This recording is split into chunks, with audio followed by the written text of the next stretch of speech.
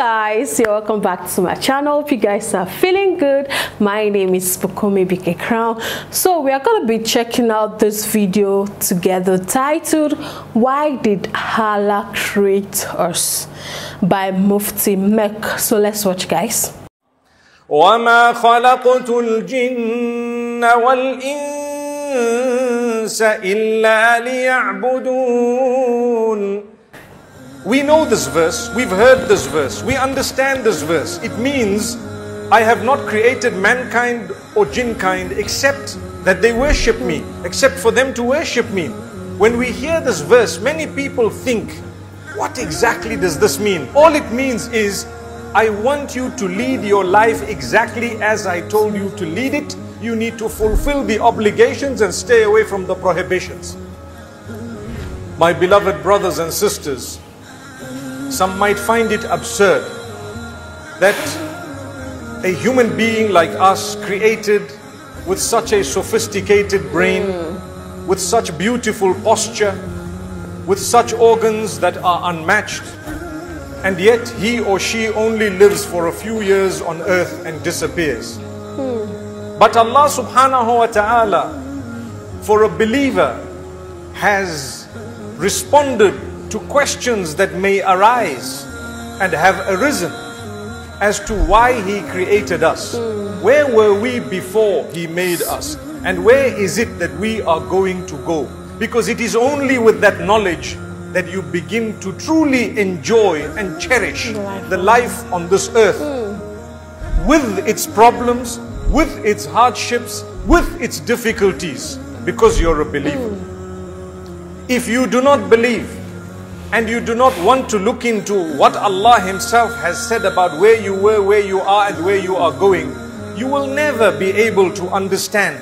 And you won't enjoy truly because for you, it will be a rat race throughout your life. You will be running behind things that do not have deeper pleasure than a few moments.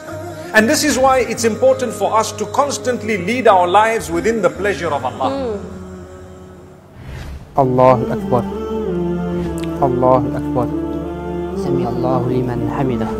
Allahu Akbar. Assalamu alaikum, my brothers and sisters. I'm Vegard, a Norwegian convert to Islam, and I want to ask for your support to purchase prayer carpets for the first of its kind Norwegian masjid and dawah center in the whole country of Norway. The cost is around $50,000. Would you like to pitch in and share in the immense rewards for tens of thousands of sajdas that will, inshallah, be performed on these carpets? Wouldn't it be great to meet Allah with all of these sajdas on your scale of good deeds? Of course, right? Listen to this hadith so you fully understand what reward you could be earning. The Prophet ﷺ said, Make lots of sujood for you will not make a sajda to Allah except that Allah raises you a degree because of it and removes a sin from you because of it.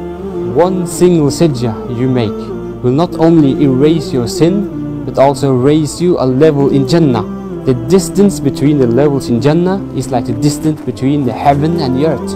And you will get this raise for every single sajda that you make. Now imagine how many levels Allah will raise you in Jannah when your sadaqah facilitates for tens of thousands of sajdas. Allahu Akbar.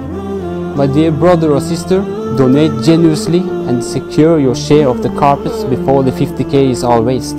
This opportunity will only be out there for a very short time. If you miss it, you miss it. So don't allow shaitan to trick you by delaying it. Click the link and make your donation now. Jazakallahu khairan.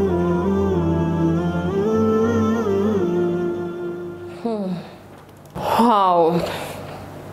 This was really powerful. Sometimes I do sit down to think that why did God create us? Why? Why why has God created us?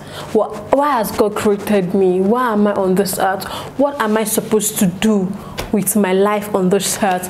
What am I supposed to do? Like this was really powerful. You need to sometimes we need to reflect into life because anytime you reflect into life you can push harder and work towards it. Most of us are still discovering ourselves. We are still discovering why god created us why some people have already discovered themselves and they are working towards it. Like for instance let's let, let me use um the, the, the messengers of god for instance maybe you are you are you are an imam you're a pastor you're a priest or you're working for god you're a preacher you've already discovered yourself halfway. You've discovered yourself. That's what God has majorly called you to do on earth but some of us are yet to discover ourselves. And the more you think about it is the more you acknowledge god is the more you will give thanks to god for you know making it possible you know for for him to create us. Do, you know what it takes for him to actually create us or for him to choose you to come on earth? Millions thousands of people are like you don't know you don't know like it's just a miraculous thing. And god that's why we need to acknowledge him every time. We need to praise him. We need to give him all the thanks. No matter how busy we are no matter how life eats us or no matter what we do in this life we should make sure it's very important we should make sure that we give all thanks to god back. Because He's the only one that can answer all these questions and he has a purpose for us being on this earth and we should try and discover ourselves. And if you've discovered yourself work towards that purpose. And while working towards that purpose don't forget to serve God because he majorly created all of us just to serve him. The primary reason why God created every human being on earth is to serve him is to worship him he does not need your food he does not need anything from you all he needs is your thanksgiving one thing that God cherish most is your praises, is your recitation, is your you know your thanksgiving. You can pray. Prayer is good. It's good to pray to God, but what really moves God the most is when you praise Him because we even we human being when people praise us we are always you know happy. Especially when you do well maybe in school you came out with good results or you help somebody in something or something good happened and people start praising you people start giving accolade you feel good about yourself. You start smiling you feel happy. Then let's not talk about god when you praise him he will be so so happy and you you will just answer your prayer within a second. What it might take years for god to answer in human eyes it just take god a second a minute to answer that prayer.